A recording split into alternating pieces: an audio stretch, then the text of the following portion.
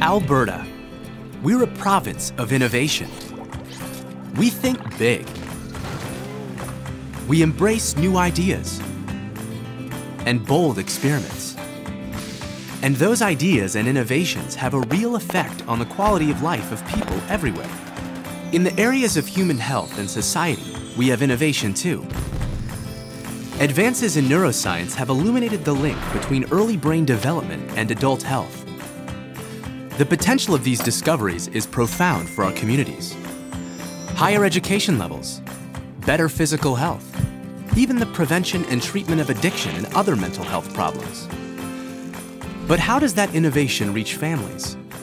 How do we transmit the light of science to every corner of the province?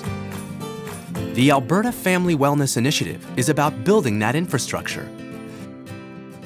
It's about linking Albertans, the practice community, policymakers, and scientists so that innovation can reach people throughout the community.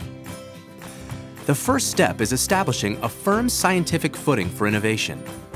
The AFWI has worked with distinguished scientists from across North America to identify leading neuroscience and to support further research.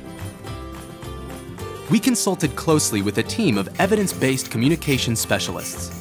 These experts translated complex science concepts into a brain story that was tested with Albertans to ensure a high level of understanding. Equipped with this common language, we are now working from every corner of the province to share the science and to tackle the challenges in our communities. Already, innovation is beginning to touch communities and families with the hope of a brighter tomorrow. Together, let's keep building a promising future for all Albertans.